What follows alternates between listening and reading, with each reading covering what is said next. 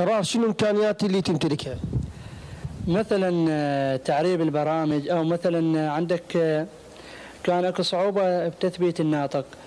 أكو تطبيق اسمه سمارت فويس عربنا الواجهة مثلا خليناها باللغة العربية وصار التطبيق باسم الصوت الذكي. الصوت الذكي يحتاج إلى عدة أدوات حتى ينطق على الهاتف الأندرويد.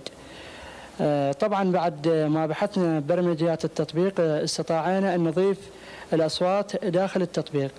صار التطبيق بعد التثبيت وتفعيل التطبيق يبدأ مباشرة بقراءة كل شيء يظهر على الجهاز. مستخدم عند مهندسين صوت لهندسة القصائد.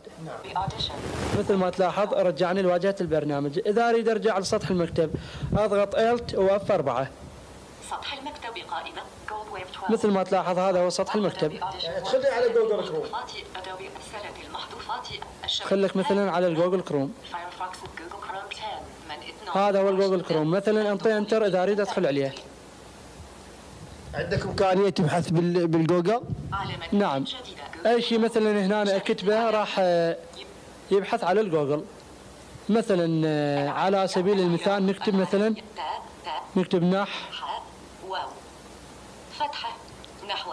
استجابة جوجل إلى مطالب المكفوفين وتم إضافة اللغة العربية في محرك جوجل TTS وأصبح الناطق افتراضي في هواتف الأندرويد في التحديثات القادمة.